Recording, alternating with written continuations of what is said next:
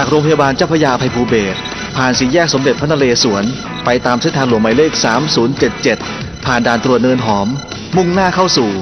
อุทยานแห่งชาติเขาใหญ่ครับ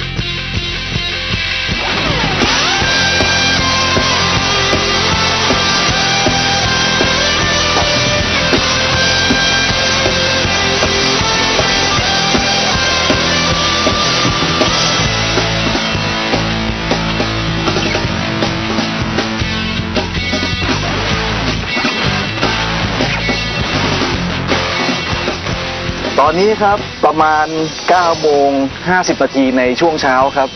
เราอยู่ในพื้นที่ของอุทยานแห่งชาติเขาใหญ่ครับ ซึ่งเป็นส่วนหนึ่งของพื้นป่า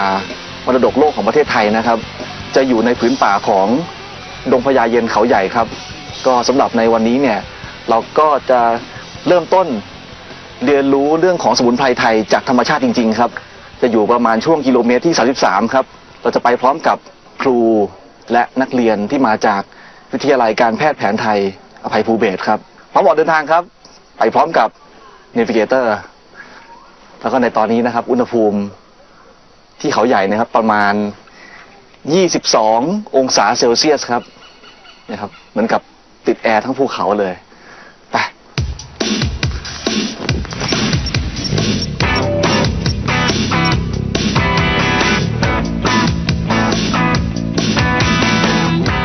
ก็ในการ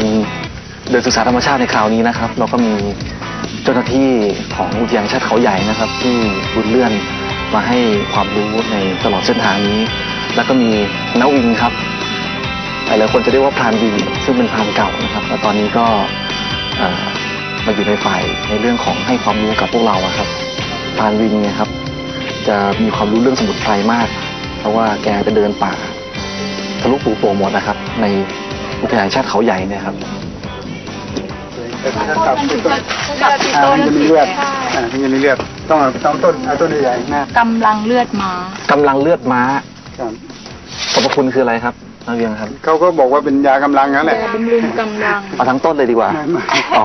กินยังไงครับเขาเขาถากเอาไปต้มหรือไปเช็ดไปดองเหล้าอ่าฮะเปลือกถากอ๋อเอาเนื้อเอาเปลือกนะครับครับอันใบไม่ไม่รู้สรรพคุณนั้นใบแต่ว่า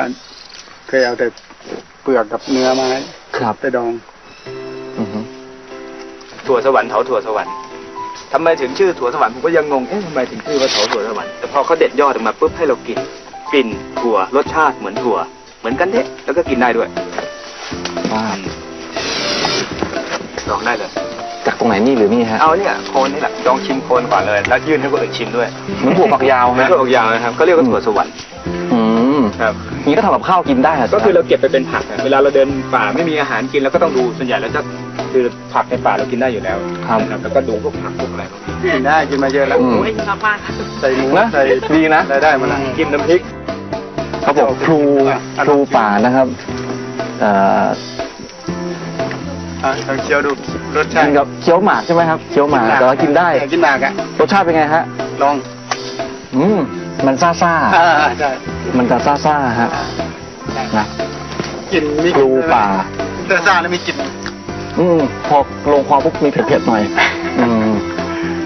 แล้วยังไม่ได้หลอกผมนะไม่หรอกอ่ากินได้ เปลือกเขาก็จะใช้เป็นสมุนไพรประกอบพวกอ่ายารักบรรเทาอาการพวกท้องอืดท้องเฟ้อ ส่วนลำต้นที่มีกลิ่นหอมฉุนเนี่ยพวกปลวกพวกแมลงไม่ชอบ ชาวบ้านสมัยก่อนเขาจะนำเนื้อไม้ของพอต้นพวกนี้ไปทำเป็นพวกเครื่องเทศเฟอร์นิเจอร์ทำเป็นตู้เสื้อผ้าถ้าพูดถึงในระบบนิเวศแล้วพวกนี้เป็นไม้เนื้อแข็งแข็งแรงมากลำต้นถึงจะตายไปแล้วแต่รากสามารถอยู่ได้ถึง4 5 0 0ปีนะครับ โดยไม่ผุนะครับโอ้โหมาทริปนี้งงเหมือนกันนะครับเพราะปกติแล้วเนี่ยครับเราเดินป่าเนี่ยก็เดินจ้ำจ้ำเพื่อไปให้ถึงจุดหมายปลายทางนะครับ แล้วก็อาจจะเห็นต้นไม้ออสองข้างทางบ้างอะไรเงี้ยครับแต่ว่าพอมาคราวนี้เนี่ย ในทุกๆก้าวที่เราเดินไปนี่ยครับล้วนแต่มีสาระตลอดทางเลย มีต้นไม้ มีสมุนไพรที่เราต้องดูต้องศึกษา ตลอดทั้งเส้นทางเลยครับ ซึ่งตอนนี้ได้เวลาชนิดแล้วครับ ยังคงเดินอยู่ในเส้นทางเดินศึกษาธรรมชาติที่กม 33 อุทยานแห่งชาติเขาใหญ่ครับ สุลามลิต คือต้นหนีใช่ไหมครับ ใช่ค่ะต้นใหญ่ต้นเวลาลูกมันแล้วสรรพคุณของของสุรามาลิตคือเหมือนบำรุงกำลังอะค่ะบางทีก็ไปเข้าในตำรับยาออืประกอบกับยาอื่นนะคะรวมกันแล้วก็ไปดองเหล้าก็ใช้บำรุงกำลังร่างกายครับ อยู่ในวงทิงจิเบอร์ซีในกลุ่มของพวกขมิ้นพวกขาอะไรอย่างเงี้ยค่ะ ที่มันจะกลิ่นฉุนแล้วอย่างพวกวงพวกอะไรเงี้ยเขาแยกจากอะไรครับเขาดูจากอะไรครับ ลักษณะของต้น เด่นลักษณะเด่นๆ อย่างเช่น ตัวอ่าฮะที่อ้อยบอกเมื่อกี้ก็คือกลิ่นของเขาจะหอม แล้วก็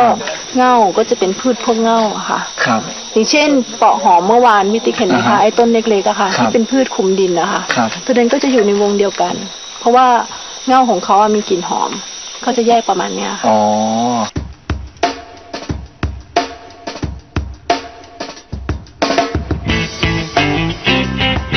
ในการเดินป่าคราวนี้นะครับทำให้ติ๊กรู้ซึ้งถึงคุณค่าธรรมชาติเพิ่มมากขึ้นเลยครับ เพราะว่าในแต่ละย่างก้าวเนี่ยมันมีแบบต้นไม้ต่างๆ ที่เป็นเรื่องของสมุนไพรนะแต่ต้องขอบคุณน้องๆนักเรียนด้วยนะครับ ครับผม ตรงนี้ก็เรียกว่าหอดูสัตว์ใช่ไหมครับหน้องผักชีอือหือเป็นทุ่งหญ้ากว้างๆเลย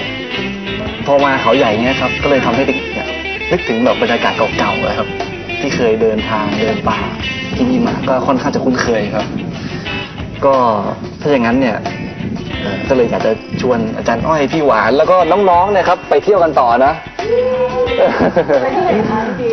ไม่บอกครับไม่บอก ไปแบบสไตล์น a วิเกเตอร์ แต่จะบอกก่อนว่าที่ที่จะจะพาไปเนี่ยครับติ๊กก็ไม่เคยไปเหมือนกันนะลองดูครับโอเคค่ะได้เนาะเลยลองดูไปเที่ยวด้วยกันนะครับน้องๆ ครับผม โอเคครับผม มีแต่เธอและฉันเส้นทางแห่งความฝันที่เขานั้นรออยู่ชื่นชมกับความสวยงาม เราออกจากด่านตรวจเนินหอม เลี้ยวซ้ายที่สี่แยกสมเด็จพระนเรศวร ไปตามอำเภอประจันตคาม แล้วเลี้ยวซ้ายที่ป้ายน้ำตกตะเคอมุ่งหน้าเข้าสู่หน่วยพิทักษ์อุทยานที่ขอยอสิบประจันตคาม อุทยานแห่งชาติเขาใหญ่ ก็ตอนนี้ครับเวลาประมาณ9โมง40 นาทีในช่วงเช้าครับ ก็จากเมื่อวานนะครับที่ Navigator เอ่ยปากชวน the gang ครับครูและนักเรียนจากวิทยาลัยการแพทย์แผนไทยอภัยภูเบศจังหวัดปราจีนบุรีครับวันนี้เนี่ย Navigator จะพาเขาไปเที่ยว ซึ่งที่นี่อยู่ที่หน่วยพิทักษ์อุทยานที่ขอยอ10ครับประจันตคามนะครับอุทยานแห่งชาติเขาใหญ่ครับ ซึ่งจุดหมายปลายทางของเราเนี่ยครับ คือตาดหินยาวครับ แต่ไม่รู้ว่าแก๊งสมุนไพรนี่เขาจะพร้อมกันหรือยังเนี่ยนี่ก็มีแก๊งสมุนไพรนะครับ แล้วก็นาวิงด้วยครับ ไปพร้อมกันครับ ไปพร้อมกับเนวิเกเตอร์